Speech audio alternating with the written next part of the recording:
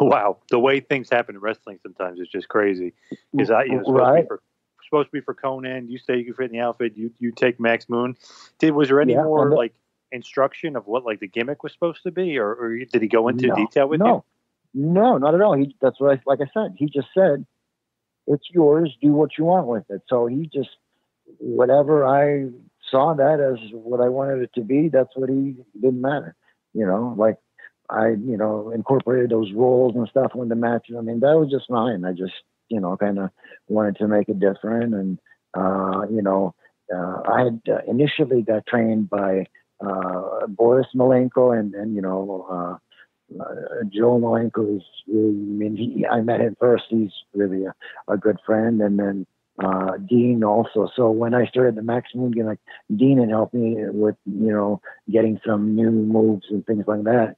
So I, you know, cause I knew for that and I needed to have some fancy stuff. And, you know, really prior to that, I just mainly been a heel and my main thing was, you know, bumping. And of course now Max Moon, I had to be able to do uh, you know, uh, offensive, fancy moves and stuff. So he, he you know, showed me a few things that I wound up using there and stuff. But no, yeah, I mean, I really, you know, like I said, I really enjoyed working with Terry Taylor. He was, you know, that was great.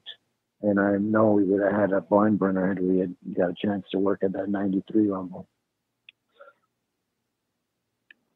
But yeah, we, yeah, we, you know, weird things that do happen, just like, you know, uh, who knows really how long you know I may have stayed there if, if not for well you know the circumstance that uh, I told you about. But I don't regret that. You know, I mean, uh, unfortunately things happened, and uh, I'm just glad that you know I, after you know all that time and you know to married a, a girl and uh, my god i can't imagine now you know not having her in my life. So I don't know, it just kind of worked out in a weird way, but it's just great the way it is now. So Took a while, but everything uh, seemed to work out. yeah, yeah, I know. Well, you know, I guess I we, we you know kind of discussed like wondering what our lives may have been had we had stayed together back then. But then again, you know,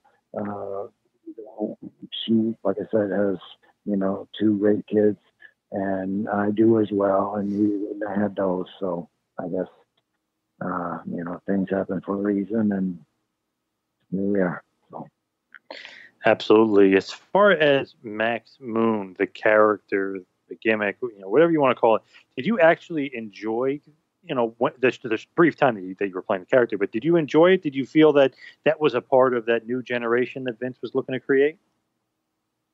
Mm, I don't know. I mean, I, you know what? I, I was I was just trying to be the best that I could be uh, to, uh, you know, I guess uh, advance my career uh, as far as it could go. So if he wanted me to do Max Moon, uh, then I was going to do Max Moon, you know, the best that I could. He wanted me to do Kato, well, I did that the best I could.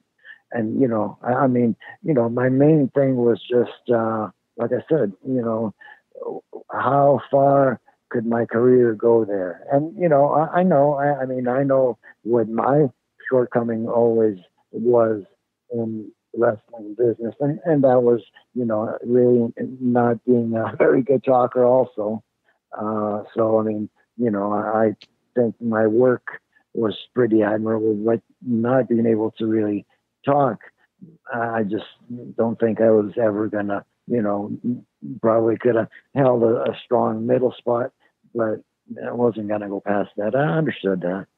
So you know, whatever they wanted me to do, I was just going to be the best I could be at whatever it was uh, that they gave me. But no, I mean, you know, I so you know, answer your question, not, necessarily, but yeah, I mean, whatever it was, you know, like I said, that that they had given me, I was just going to be the best that I could be, and so that they realized that if they needed, you know, something else. Well, hey, this guy, he could do this and he could do this, so, so we can use him. You know, I mean, so uh, the more uh, versatile that I could be, and they could use me in different places. You know, uh, thought that could have made my career last a lot longer. So.